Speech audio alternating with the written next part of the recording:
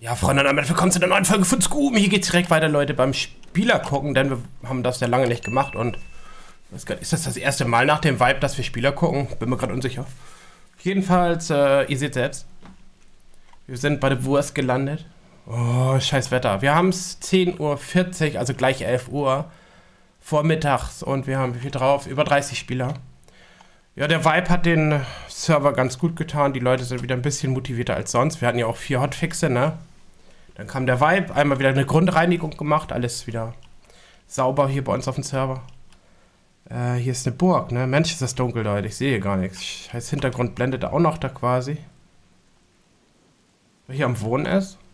Na, und heute habe ich mir gedacht, ja, was machst du denn jetzt? Also, mein Schar ist quasi ja noch gerade auf Erde aufgeschlagen von letztes Mal. Habe ich gedacht, äh, nee, das habe ich zweimal gespielt mit meinen Banditen. Jetzt habe ich mal wieder Lust, die Spieler zu gucken. Und hier ist ein dickes Blumenbeet, was aber, ja, in Anführungsstrichen Unkraut züchtet. Hat er keine... Nee, das scheint ihm wohl nicht zu gehören, weil er versucht ja irgendwie reinzukommen. Das ist so, so dunkel, Alter. Muss ich jetzt echt Nachtsicht machen wegen diesem Kackwetter hier? Was soll das? Wo ist er denn jetzt hin? Ja, der ladet hier auch zu Fuß. Ich habe auch noch kein Auto gefunden, wie gesagt. Nur das Boot von letztes Mal. Ja. Schnupfen wird langsam besser. Aber 100% auch noch nicht. Also ich habe auch gedacht, ich bin ein bisschen... Dass alles ein bisschen schneller geht, ne? Aber nee, es ist wirklich so, ne? So ein 10 Tage oder sowas hängt man damit so einen Rotz wieder rum, ne? Mann. Aber ich erhole mich so ganz gut nebenbei. Kein Stream, da spare ich ja im Moment ein bisschen. Ja. Und... Hatte mich nur gefreut, wo ich gestern Abend dann noch geguckt habe, wie viel auf dem Server sind. Unsere Twitch-Zubbis, die, die uns hier bei ähm, Twitch subben, ne? Die haben ja mehrere Vorteile. Ähm, und unter anderem kann, können die den ähm, Counter in Discord sehen, ne? Wenn du den Discord anmachst, dann siehst du gleich, wie viele Spieler hier online sind, ne? Und dann stand da auch schon 60, 60. Also Server gestern voll quasi, war cool. Und Hans Wurst muss ich jetzt erstmal ausruhen.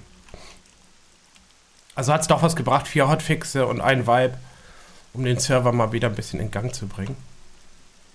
Ja, ja ansonsten kommentartechnisch oh, ist ja nicht so viel los hier bei mir, ne? So viele Leute schreiben irgendwie gar nicht. Keine Ahnung. Vielleicht, ja, haben sie nicht dieses Interesse, was zu schreiben, keine Ahnung. Die gucken zwar alle Videos, ne? Aber die sind alle schreibfaul. Ähm und es ist aber doch wichtig, dass man ab und zu mal, wenn man hier was fragt, ne, dass da mal ein bisschen Feedback zurückkommt. Ansonsten müsst ihr nicht jammern oder maulen, ne, wenn ich hier dann knallhart äh, mein Protokoll durchziehe, ja. Hm. Ne? Ich gebe ja schon den Leuten immer eine Chance, hier so ein bisschen mitzuwirken, ne? aber das passiert dann meist tatsächlich nicht. Und dann, ähm, ja, Sie sich nicht wundern, wenn das alles so aussieht, als ob das immer nur nach meiner Nase geht, obwohl ich denen ja wirklich den Freiraum gebe, immer hier ein bisschen was mitzugestalten, ne? Oh, ist das ein Kackwetter hier. Aber kann man überhaupt was sehen im Video, Leute? Hm, das ist ja traurig jetzt, ne? Eigentlich bin ich ja gut gelaunt. Aber bei dem Wetter jetzt hier, das ist ja direkt bei mir draußen, ist ganz gefroren wieder alles. Ne? Wir haben noch keinen Schnee gehabt hier im Norden. Aber immer Eisschicht, ne? Immer alles vereist und oh, ich habe jetzt keine Lust hier raus, ein Auto wieder kratzen und dann ist es. Enteiser ist ja noch leer und sowas, ne? Und dann denkst du auch, oh. obwohl ich müsste mich mal wieder be bewegen langsam, weil der körperliche Zerfall, der beginnt ja irgendwann nach ein paar, nach nur wenigen Stunden oder Tagen. Wenn du die ganze Zeit nur drinnen hockst, ne, äh, fängt ja der körperliche Zerfall an. Und das ist ein bisschen nervtötend, ne? Da müsste es noch irgendwie ein Mittel geben, dass das Weiß ich nicht, dass das irgendwie nicht passiert so. so, Johnny J. Der survivalt hier irgendwie am Hafen, sehe ich gerade. Ich versuche mal eben die Nachtsicht anzumachen. Ist es besser? Ja, irgendwie äh, beide, äh, beide Ansichten scheiße. Das eine wieder zu doof, zu hell und so und das andere wieder zu dunkel. Hm. Naja, er versucht hier noch irgendwie seine Wohnung dazu gestalten anscheinend. Und Hans Forst schleicht sich von hinten an. Wir gucken einfach mal weiter. Sind da genug Spieler online am frühen Morgen hier schon. Da fährt auch schon der gute alte Neo. Er hat das Glück, eines Autos gefunden zu haben anscheinend. Hm, ja, hier in der Nähe vom Leuchtturm bin ich ja auch gerade unterwegs. Wenn ihr Autos habt, ja, die ähm, auf dem Kopf fliegen oder auf der Seite liegen oder sowas, also die verschwinden wohl jetzt auch irgendwie nach einiger Zeit dann, ne? Muss man mal drauf achten. Das ist ja wichtig, damit sich der Server nicht vollmüllt, ne? Und du gleichzeitig neues Auto dann irgendwo auf die Karte kriegst, weißt du, deswegen. Das war ja vorher ein Bug, aber das sollen sie ja gefixt haben, ne? So, der Neo hat auch eine Strandhütte gebaut. Sieht bestimmt richtig schön aus hier. aber, liebe Freunde, ihr seht selbst. Bei den Unwetter hier. Das ist aber echt, echt ein bisschen übertrieben jetzt hier, ne? Obgleich das für die Leute, die jetzt schon ein Blumenbeet haben, ja gut ist, ne? Man muss dazu sagen, diese Blumenbeete und sowas, dann kannst du das Gießen sparen. Wenn du, naja, quasi vernünftige Symptome einleitest mit deinem Blumenbeet halt, ne? Bis zu 2,3 Liter oder so passt da rein. Und dann, wenn die Blumenbeete voll sind, dann kann auch langsam wieder die Sonne kommen, ne, Neo? Ist hier neblig und düster. Ist ja gruselig. Phoenix hat ein Auto, ne? Der gute alte, wie heißt der, Bully? Ist frisch gelandet hier im Eisland oder was? Oh. Naja, im Eisland ist Regen, Schnee. und deswegen finde ich das tatsächlich hier ein bisschen angenehmer ne, als diese Regenwelt da hinten. Weil hier ist ja genau das gleiche schlechter Wetter, bloß das ist irgendwie wirklich angenehmer. Ne? Vielleicht ist Huntress deswegen ja auch immer im Eisland hier, ne? Weil das schlechteste Wetter, was es geben kann, ist dann das hier.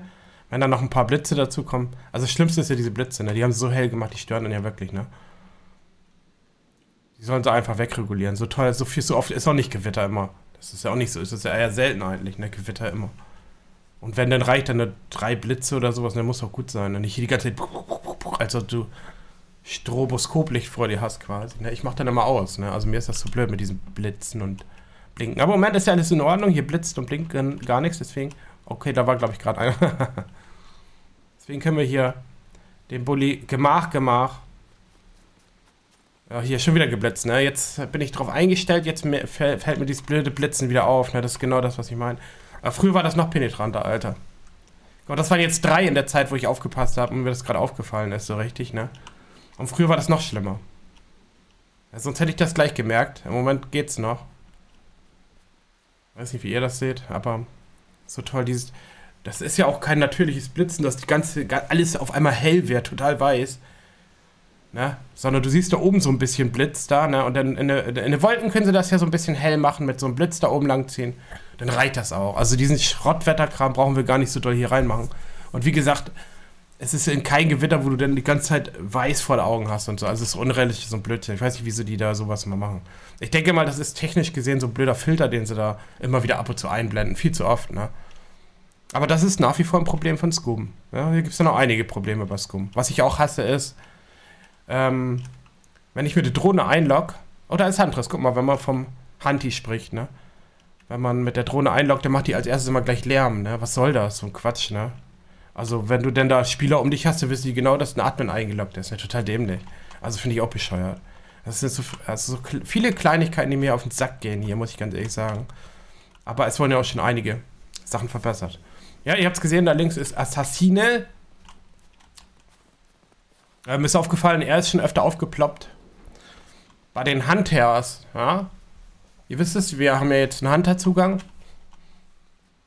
Ja, und die Leute, die mich unterstützen auf YouTube mit der Mitgliedschaft, die sollen auch einen Bonbon dazu kriegen. Ne? Beim, wenn du Goldstatus bei mir abschließt, dann hast du den Premium-Zugang als Bonbon oben drauf. Wenn du eine Stufe höher abschließt, das ist der Platin-Zugang. Da habe ich mir jetzt den Hunter-Zugang äh, Platin-Status, da habe ich mir den Hunter-Zugang jetzt einfallen lassen. Ne? Also immer so, dass du einen Bonbon irgendwie noch dazu kriegst, ja.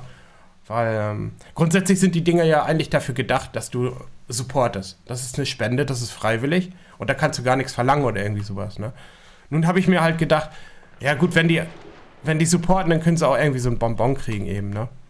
Und ja, deswegen, guck mal, hier sind Schränke. Was ist da los? Hier wohnt Hanti? Nee, echt? Da scheint so, ne? Ist ja ein selbstgebautes Haus hier. Ich dachte eben schon, das wäre so vom Spielen ne, so eine Anglerhütte oder so. Das sieht sogar ein bisschen ähnlich aus wie diese Anglerhütten, ne? Maestro, was macht er hier? Hängt in der Hängematte oder was? Der merkt es gar nicht, dass er gerade ausgespäht wird. Genau, klopf mal. Es fehlt noch Elektronik in die Klingel, ne? Ach, da geht's rein? Ach, ist so dunkel, ich sehe das gar nicht. Warte, ich mach mal Nachtsicht an. Oh, jetzt kann ich schon ein bisschen besser sehen, ne? Ah, er bewegt sich da oben. Das Fenster vergessen, obwohl hier ist eins, aber da kannst du auch schlecht rausgucken. Ne? Der läuft weiter. Er trainiert gerade mit dem Baumstamm auf die Schulter. Deswegen, das sehe ich an dieser, dieser Hand irgendwie. Ach so, guck mal, er, ba er baut da oben weiter. Schön, schön. Mal gespannt, ne? Bin mal gespannt, wie das hier sich so entwickelt, was die Leute alles so bauen. Ja, und wenn ihr, wie gesagt, diesen Hunter-Zugang aktiviert, das geht alles automatisch. Ihr müsst einfach nur auf meinem YouTube-Kanal hier Platin-Status ähm, aktivieren und dann bei mir in Discord YouTube verbinden, ne? Und dann geht das alles automatisch. Dann habt ihr Zugriff auf die, die Hunter-Edition.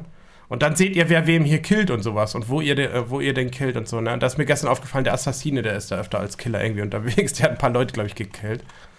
Und das kann, können die ganzen Hunter dann sehen, weißt du, ja? Und das ist schon gut. Und nicht nur wer killt, sondern wie gesagt auch wo. Ne? Und das ist eben das Interessante. Du weißt genau, welcher Sektor gerade Killer ist, weißt du? Oder beziehungsweise wo gerade eine Leiche liegt, ne? die du vielleicht finden könntest, wenn man jetzt ähm, ja, als Flat Leichenfledderer unterwegs ist. Oder was auch immer halt, ne? Oder du bist halt gewarnt. Das sind halt die, die drei Sachen, ne? Angreifer, Fledderer oder halt, ähm, dass du lieber in Deckung gehst, ne? Da ist er doch der Killer. Guck mal, der hat auch einen Totenkopf davor, der Glumse. Das ist beim Händler gerade hier in der Eiszone. Das sollte der PvP-Händler ursprünglich werden. Geht jetzt aber, wie gesagt, alles nicht. Wir haben das Konzept geändert. Da ist der Lümmel. Ja, und wenn ihr jetzt Hunter-Zugang habt, dann habt ihr das auch gesehen, dass er hier ein paar Leute, glaube ich, gekillt hat. Aber noch andere auch noch, ne? Also ich, mir ist nur aufgefallen, sein Name war irgendwie in letzter Zeit öfter da. Ja, man sieht es jetzt in der PvP-Zone hier in der roten Bereich unterwegs und da wird dann immer gescannt, wer wem killt und auch im Game-Bereich. Nochmal zur Erklärung für alle Neuen. Wir haben drei Schwierigkeitsgrade hier bei uns auf dem Server. Das hier ohne Farbe, das ist leicht. Ne? Die gelbe Zone, das ist mittlere, mittlere Schwierigkeit. Das heißt, ähm, hier sind Nahkämpfwaffen erlaubt. Also, ne, dich kann einer totboxen, dich kann einer totkloppen mit einer Keule oder sowas. Ja, das Konzept von früher, das gibt es nicht mehr, das geht ja nicht. Leider, ne? Es funktioniert halt nicht so. Also vergesst das Konzept, was ich eigentlich für die 0.8 geplant habe. Mit Purge-Zone und PvP-Händler und ja, dass das Überleben wichtig ist, dass das Essen in dem Vordergrund ist, war ja meine Planung ursprünglich. Das ist alles Quatsch jetzt, das ist weg, das ist weggebackt hier. Das neue Konzept ist einfach jetzt, wir haben drei Schwierigkeitsgrade. Ne? Mehr hat das hier nicht auf sich mit den Farben, ja? Ihr könnt überall halt jederzeit hin und her daddeln, wie ihr wollt. Ne? Ihr müsst nicht in einem Bereich sein oder sowas. Ne? Wenn ich jetzt hab, einen Killer, Bock habe auf Killer sein, dann kannst du von hier direkt in der roten Zone. Nur das ist halt zur Markierung, damit ihr Bescheid wisst, äh, in welchem Bereich wo was denn abgeht. Ne? Also gelb ist äh, Nahkampf mit Keulen, Schwerter, Echsen und so könnt ihr euch da zerfetzen, ja. Aber keine Schusswaffen, ne? Deswegen ist das mittlerer Schwierigkeitsgrad. Und ja, in der Mitte hier, das Rote ist klar, da ist alles erlaubt. Von Minen auf Sprengen und Pfeil und Bogen und Werfen und Schießen sowieso und Raketenwerfer und Granatwerfer, was es auch alles hier gibt. Ne? Also das volle Waffenarsenal ist in der Mitte hier freigeschaltet. Dann wisst ihr einfach Bescheid. Der Vorteil ist aber auch, dass diese Leute mehr bauen können. Ja, also das ist so als, ähm, als Bonbon halt. Du kannst tatsächlich jetzt theoretisch als Squad äh, müsstest du hier diese, hier zum Beispiel das Bootcamp für dich in Anspruch nehmen können. Ja, also das könntest du theoretisch einbauen und so und dann versuchen zu verteidigen. Das hat den Hintergrund, weil hier ist ja das, das Meaning, das Bombenlegen und sowas ist ja alles erlaubt. Das heißt, also raiden darfst du hier. Du kannst hier die Spielerhäuser platt machen, das ist alles erlaubt, ne? Und nach wie vor muss ich auch noch mal kurz darauf hinweisen, wenn ihr hier auf leicht spielt, dann seid ihr trotzdem angreifbar über eure Fahne zum Beispiel. Ne? Also wenn ihr eure, eure, Flagge müsst ihr ersetzen, um bauen zu können. Dann baut ihr ein Haus und dann, wenn das Haus steht, müsst ihr eure Fahne oder Flagge direkt dann ins Haus reinstellen. Oder eben vorher einfach einbauen, ne? dass da keiner rankommt, weil es ist schon vorgekommen, dass hier ein paar Flaggen zu Anfang schon gleich irgendwie eingenommen worden sind. Ne? Und das ist halt dann ärgerlich, weil du musst sonst immer, solange die Flagge frei ist, musst du jeden Tag gucken, hat die jemand berührt. Meistens ist das so. Dann siehst du, das wird übernommen oder sowas, dass da irgendjemand deine Fahne berührt hat. Und dann musst du sie selber nochmal eben anklicken und also dieses Übernehmen irgendwie abbrechen oder so, damit das wieder deine Fahne wird. Und dann baust du sie halt also, wie gesagt, ein. Schützt eure Fahne, das ist ganz wichtig, das ist sonst, sonst, äh, sonst äh, das müsst ihr halt lernen. Sonst verliert ihr eure Basen und so auch in den anderen, in, in allen Bereichen, ne? Die Fahne ist immer angreifbar, egal welches Level du hast, deswegen. Aber das kann man ja verhindern, indem man sie eben einbaut oder eben entsprechend vernünftige Symptome einleitet mit einem Haus wo du sie reinstellst. Das ist ja gar kein Problem. Muss man eben nur dran denken. Ne? Die Fahne ist halt noch so ein wichtiges Bestandteil im Spiel halt. Ne? Obwohl ich, glaube ich, gehört habe schon so ein bisschen hintenrum, dass das vielleicht nicht mehr funktionieren wird mit Fahne einnehmen irgendwie. Weiß ich nicht. Mal gucken, wie sich das so weiterentwickelt. Das neue Entwicklerstudio, was da jetzt mit ähm, unseren Entwicklern hier zusammenarbeitet. Zusammen sind die ja der ganze Haufen irgendwas mit 500 Leute. Das müsste schon einen ganzen Push geben. Also wenn die neuen Entwickler äh, die Skumler jetzt so doll unterstützen, sich da wirklich drauf fixieren auf das Spiel hier, äh, dann kriegen wir da auf jeden Fall ab 0.8 jetzt einen Boost. Und der ist ja auch nötig. Wir haben ja gesehen, dass hier wirklich das, äh, habe ich ja schon vermutet, das schaffen die ja gar nicht alleine. Na, bis 1.0, das wird sogar in zwei Jahren, schaffst du das doch gar nicht. Na, wenn ich die Entwicklung jetzt sehe. also das mu musste wohl so sein. Und wie gesagt, muss man ja nicht nur negativ sehen, sondern es kann ja auch gut sein dass wir eben eine ganz schnellere Entwicklung jetzt hier bekommen und vielleicht, wenn was rauskommt, nicht so viel Bugs da drin haben, wie wir es halt im Moment leider gewohnt sind. ja gut, ähm, wenn das ein Bug zu sein scheint, dann versuche ich mal was, was man da machen kann. Jo, alles klar. Jo, alles klar, jo, also Bug, muss ja ein Bug gewesen sein. So, Shuku ist auch wieder da. Johnny, Johnny Sage, da waren wir doch eben schon. Die Wurst haben wir auch schon gesehen. Ähm. Achso, das ist die Stadt. Ja gut, die ist wirklich irgendwie gut besucht. Das ist aber immer so, hier ist ziemlich viel Trouble. Jetzt kommt, glaube ich, mein Putzroboter rein, aber ich habe die Tür zugemacht, keine Angst. Der stört uns jetzt nicht direkt. Ja.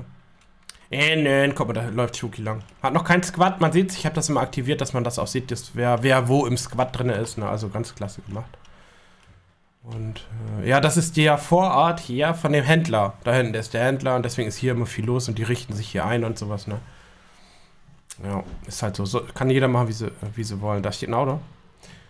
Nur eben, ähm, ähm, also, wie gesagt, hier ist ein bisschen die Baubeschränkung so ein bisschen aktiviert. Ne? Also, ihr könnt wohl ein Zimmer mieten oder sowas, kein Problem, aber jetzt hier alles zubauen, so wie früher, das geht nicht mehr. Da wir das, äh, den Serverbetrieb ja auf ja, ähm, Automatikmodus umgestellt haben. Ne? Automatikmodus bedeutet für die Neulinge nochmal. Jamai, guck mal, da hinten ist Jamai. Hör, wo ist er jetzt hin? Ach, rausgeflogen? Guck mal, da hat einen Unfall gebaut. Nee, doch, jetzt wieder. Terranova auch. Man sieht die beiden Girls zusammen ist Squad. Äh, oh, die schieben gerade hier das Ding da. Das hat keinen Motor. Ja, gut, ähm, dann ist das wegen der Ausdauer, ne? Ja, dann läuft einfach weiter. Die, die Aufgabe ist, ähm, die Autos, die ohne Motor sind, die müsst ihr zum Händler schieben, weil nur der Händler kann einen Motor da einbauen, ne? Und das, genau hier bin ich mit Lea lang gegangen. Kannst du noch entsinnen, Lea? Und da, wir wurden hier, also da sind wir lang. Wir waren aber auf dieser Grasseite hier. Mal gucken. Also ich würde das jetzt eigentlich ganz gerne äh, sehen. Wie, ob die das schaffen. Ja, ist ein Zombie da vorne? Tatsächlich. Ah, das Wetter wird auch schon besser hier. Man merkt, die Laune, die Laune steigt. Er schießt mit dem Bogen. Zombie sauer. Zombie down. Ähm. Oh, da kommt noch einer, hab ich gesehen.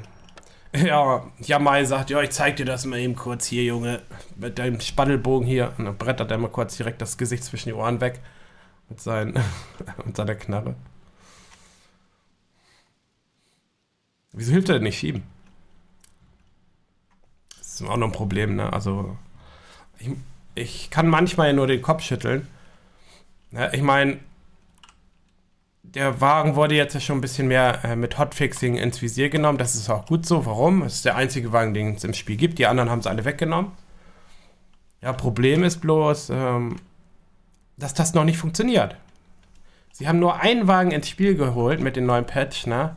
Und der ist defekt, der funktioniert nicht. Und das ist halt ein Problem. Und äh, als Spieler merkst du das dann irgendwann, ne? warum irgendwas nicht geht und sowas. Ne? Und hier ist jetzt das Problem, das Schieben so funktioniert jetzt ja, ihr seht's, aber da hinten kommt gleich eine Steigerung. Lea, Lea kann sich auch dran erinnern, ähm, wo wir dann platt gehauen worden sind von zwei Zombies, weil wir, bei, wir hingen da irgendwie dran an den, an den Auto und dann kamen die Zombies und haben uns dann da zerfetzt. Die sind ja auch sehr stark hier bei uns am Server. Und da sind wir schon nicht hochgekommen. Wir mussten hier rechts abbiegen. So, jetzt gucken wir mal zu, ob er das schafft. Und wir waren zu zweit, ne? Lea und ich haben geschoben. So, pass auf. Mal gucken. Ich, wir wollen das mal gucken, ob die das schaffen. Weil der Hintergrund ist, du, äh, obwohl du zu zweit bist und sowas, du schaffst es nicht, den kleinsten Berg irgendwie hochzukommen. Du schaffst es nicht, den kleinsten Berg irgendwie hochzuschieben. Und äh, du musst aber zum Händler kommen. Ja, und wo ist der Händler? Da hinten hinter dem riesigen Berg da, siehst du? Also da kommst du, da kommst du doch nie hin. Was macht er denn da jetzt?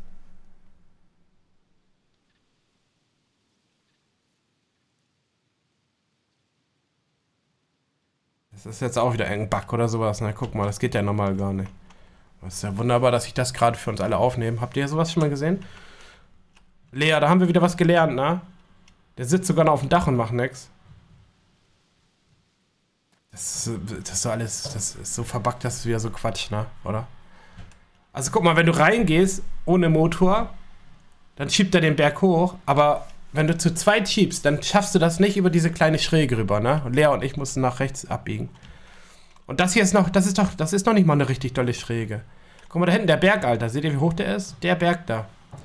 Also total, äh, das Gelände manchmal ne, ist total grottig. Und die meisten Autos, die man findet, die haben keinen Motor und dann musst du sie dahin schieben. Also das ist ja wirklich Blödsinn. Wie kommt ihr denn bloß auf sowas?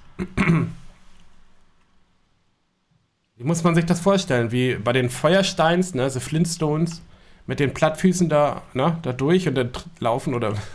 weil die sitzen ja auch in den Autos und dann sind die Füße halt irgendwie auf die Straße drauf. Ne, total dämlich. Ja, aber guck mal, ihr seht selber, also so geht das anscheinend wohl doch den ganzen Berg rauf. Aber der hätte das doch die ganze Zeit gleich machen können, oder nicht? Obwohl das ein Tick langsamer ist als Schieben, denke ich, ne? Deswegen hat er das so gemacht, okay. Ne, er macht das schon ganz gut, scheint Profis zu sein.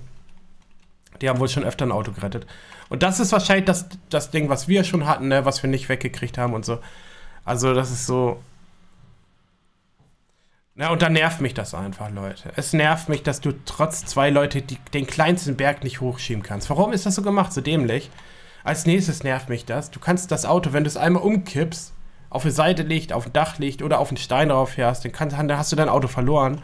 Genauso doof, ey. Ich meine, das muss man doch als Entwickler sehen. Und das sind so kritische Fehler. Ja, weil die haben ja alle Autos weggenommen.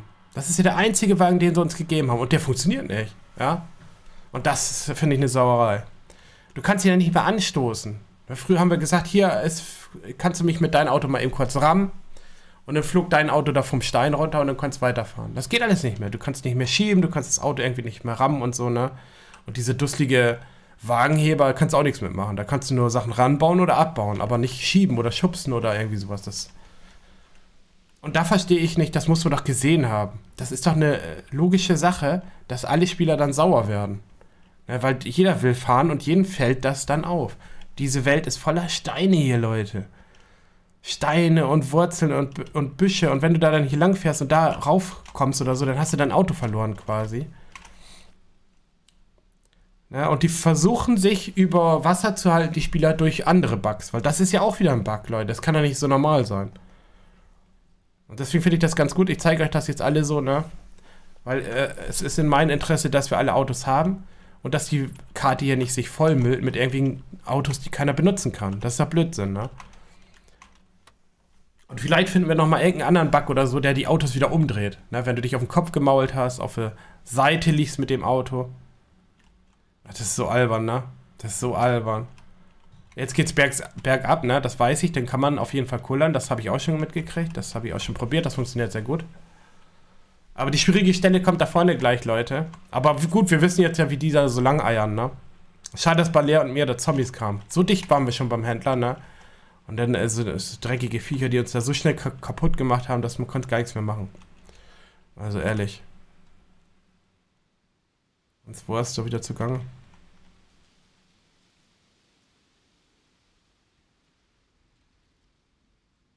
Dann hat sich, haben sich Leute beschwert, dass sie keine Autos kaufen können beim Händler. Ich habe da, glaube ich, irgendwie versucht, das mal höher zu stellen. Müsst ihr nochmal prüfen, ob das dann so jetzt ähm, gefruchtet hat und das jetzt funktioniert, dass ihr mehr Autos kaufen könnt. Ne? Weil solange das System immer so kaputt ist, na, ja, bringt das nichts. Da müsste ich eigentlich die ganze Karte löschen.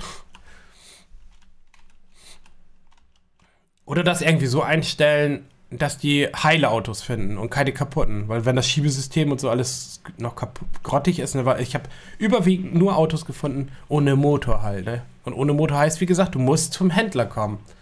Na, du kannst das nicht vor Ort reparieren. Das ist halt immer das Problem. So, Leute, ich habe jetzt ähm, euch auf jeden Fall gezeigt, wie das hier geht. Wenn ihr da Fragen habt, die beiden Knilche hier, Terranova und Mai. Ja, Mai! Die könnt ihr dann mal anhauen, ne? Guck mal, so funktioniert das ganz gut. Da waren Lea und ich schon platt gehauen. Ja. Wir sind dann hier irgendwie hoch, ne? Und dann haben, wo haben die Zombies uns so zerfetzt. So, jetzt hau rock, hau rock. Das zieht natürlich Ausdauer. Wenn die Ausdauer leer ist, lässt der Schar automatisch das Auto los, ne? So, mal gucken, wie die sich entscheiden. Also ich würde nicht rechts hochfahren, sondern geradeaus da über den Dings rüber, über den Rasen und dann hinten rum, ne? Weil das da ist ein steiler Berg. Aber wir lassen uns mal gucken, wie die das jetzt hier lösen. Ich will das nochmal eben kurz sehen, Leute. Aber die Folge ist auch schon wieder vorbei quasi, ne? Das, frisst ja so viel Zeit hier, das... Ist aber wichtig, weil das Autoscheißkram hier, das Autosystem ist halt wichtiger Bestandteil vom Server. Beziehungsweise vom Spiel. Deswegen fand ich das ganz gut, dass äh, wir das so sehen. Also, pass auf, guck mal, er steigt auf der Beifahrerseite halt ein. Jetzt drückt er F1 und geht jetzt zum Fahrerding rüber. Der andere Spieler entfernt sich rasch. Jetzt macht er den unsichtbaren Motor an und fährt da jetzt hoch. Total albern, Alter.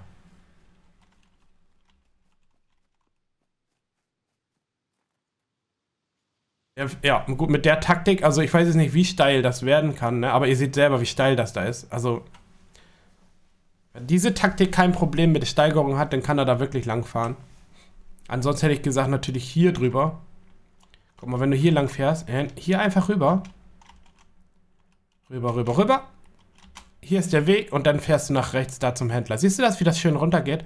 Und die fahren da den Berg hoch. Also die fahren die, äh, eigentlich eine unsinnige Strecke, ne? Aber müsst ihr selber wissen. Ich wäre hier mit Lea hier lang gerauscht und dann hätten wir das Auto hätten wir gehabt. Sie rotzt Zombie, sie regen mich immer noch auf.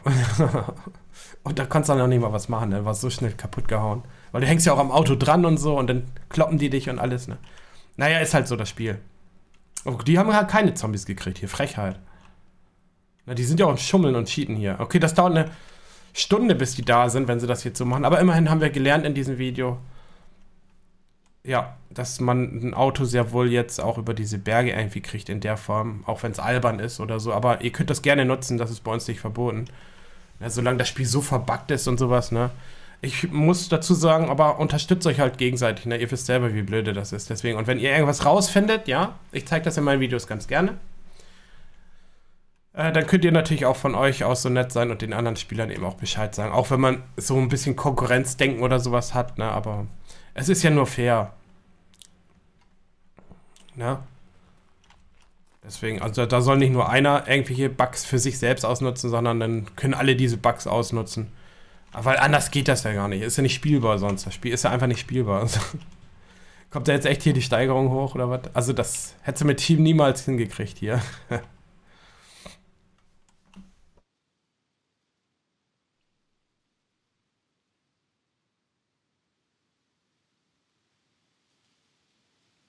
das ist bescheuert. Da kann man echt stundenlang zugucken, so was bekloppt ist.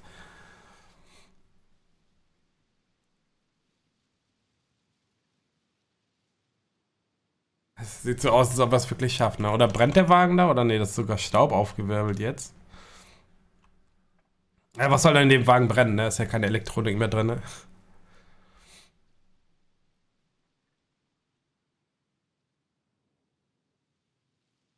das ist so dumm, ey. Der kriegt das aber anscheinend hin, Leute. Wir gucken nochmal weiter. Ja, hier sind ja unzählige Spieler drauf, ne, aber das musste ich jetzt kurz eben ein bisschen länger gucken. Auch, wie gesagt, wegen der Allgemeinheit, damit wir alle wissen, dass es da einen Trick gibt, ähm, diese Dinger da zu verschieben. Wir sind im Kampfgebiet, Leute. Der Nasenbär, der brettert hier gerade lang.